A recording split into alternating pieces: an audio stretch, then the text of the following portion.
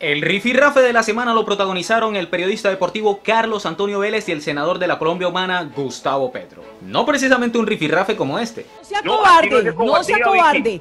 Usted es un cobarde. Esta historia comenzó el 20 de febrero a las 7 y 40 de la mañana, cuando el periodista deportivo en su sección Palabras Mayores de Planeta Fútbol se pronunció acerca del paro de los profesores y por supuesto también a Gustavo Petro, donde lo llamó el señor de las bolsas, guerrillero y asesino. Y todo bajo la égida del señor de las bolsas, como diría Petronio, el señor de las bolsas, eh, que es de los pocos que anda por ahí por la calle, después de haber hecho parte de un grupo terrorista que quemó el Palacio de Justicia con los magistrados adentro.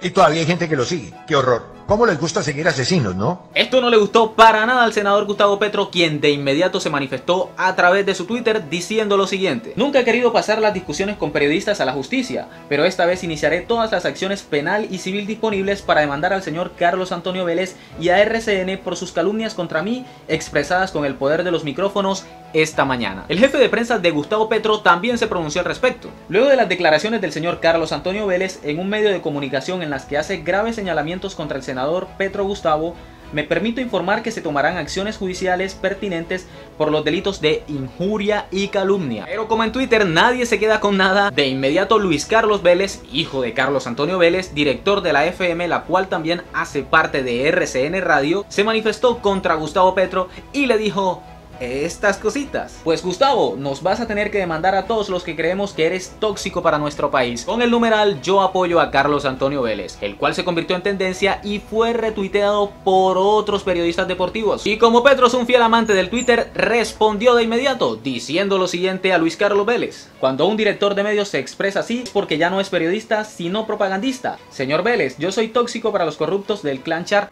Un paréntesis, ¿qué tienen que ver los Char aquí? Pues Luis Carlos Vélez es el esposo de Sia Char familiar del clan Char que ha sido acusado por Aida Merlano. Soy tóxico para los que vivieron de los dineros de los Rodríguez Orejuela, para quienes manipular es su consigna. Y siguió la cadena de respuestas y Luis Carlos Vélez arremetió con lo siguiente. Ser blanco de los ataques de Gustavo Petro es otra medalla que llevo. Chávez hacía lo mismo cuando apenas comenzaba mi carrera en CNN. No tengo nada que esconder. Tampoco recibo dinero en bolsas ni fui guerrillero. Pero ojo, que esta discusión no es algo de ahora, viene del pasado, de noviembre de 2019 cuando las marchas estudiantiles. Resulta que un grupo de vándalos arremetió contra las instalaciones de RCN Radio, lugar donde trabaja Carlos Antonio Vélez, lo cual le disgustó profundamente e hizo responsable públicamente a Gustavo Petro por ser supuestamente el líder de estas marchas. Y bien, ¿qué va a suceder con esta novela entre Carlos Antonio Vélez y Gustavo Petro? Yo creería que nada, pero Petro ha dicho que va a llevar a Carlos Antonio Vélez a los estrados para que le demuestre que él es un asesino. Pero mientras tanto, las peleas en Twitter continúan. Luis Carlos le tira a Petro, Petro le responde y solamente en el transcurso de esta semana sabremos